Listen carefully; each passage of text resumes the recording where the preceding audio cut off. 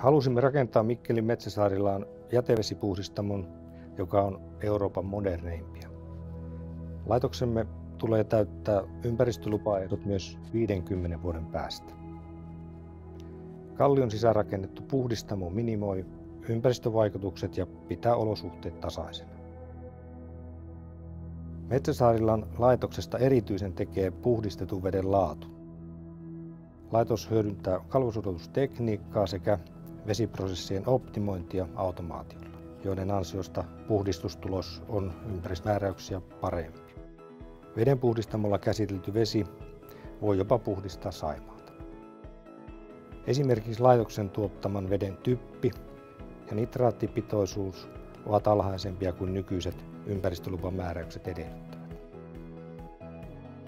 Tällä hetkellä lähtevässä vedessä fosfori ja liukonen fosfori on 0,05 mg per litra.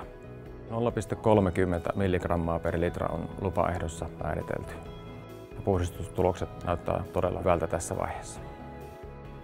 Uuden teknologian avulla voidaan tuottaa eritasoisia uusiovesiä esimerkiksi kalankasvatukseen, panimoille tai vaikka kompostilaitoksen käyttöön. Schneider Electric ehdotti meille älykästä kokonaisratkaisua, jossa kiinteistönhallinta ja prosessiautomaatio voidaan tarpeen mukaan integroida.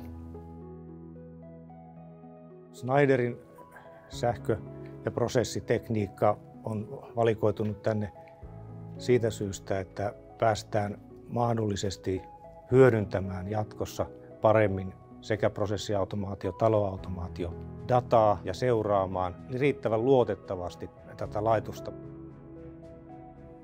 Kun tulee uusia tarpeita kehittää tiedolla johtamista, järjestelmät antavat siihen nyt mahdollisuuden.